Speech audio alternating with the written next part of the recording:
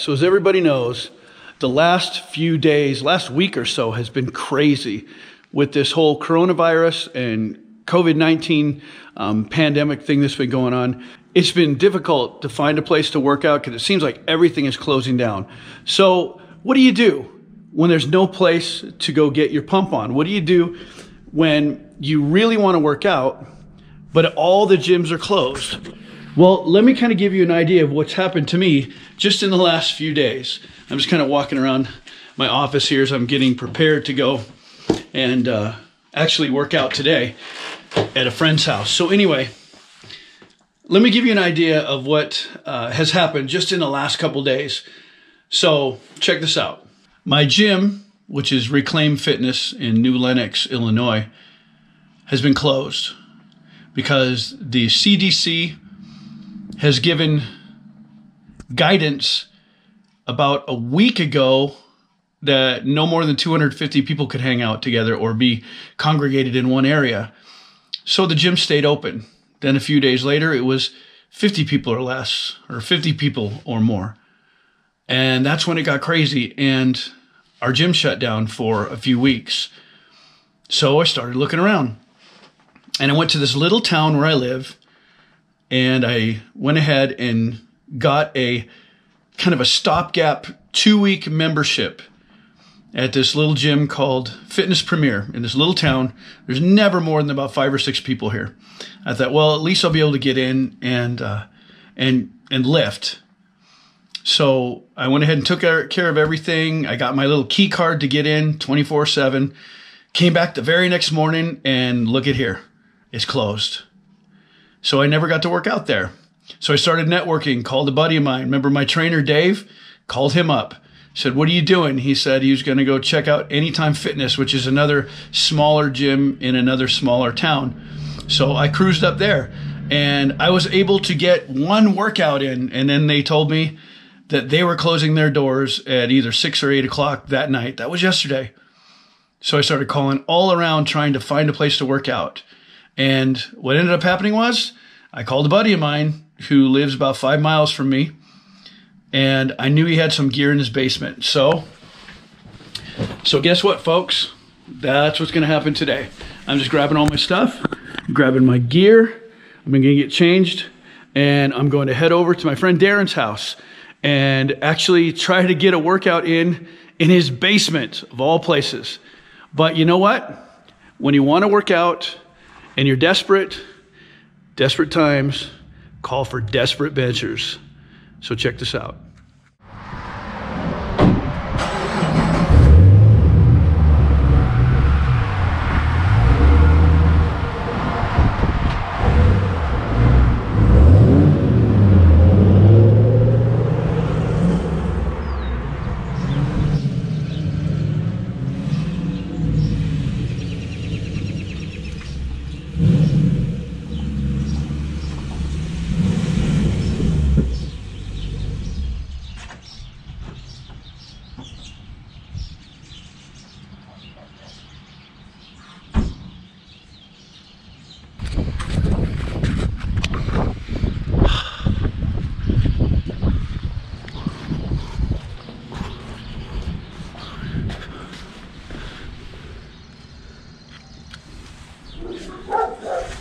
And he's got a lot of dogs.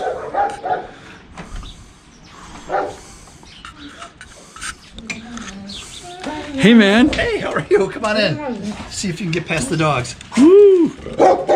Yeah. Burglars beware. I wouldn't even try it. How's it going, man? Great. How are you?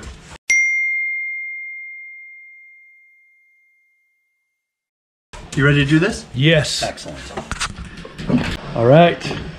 Here we go into the basement. Woohoo! As I said, folks, desperate times call for desperate measures. We got a bench. Cool. Squat rack. Some dumbbells. I think we can make it work. 225. Looking good. Here we go.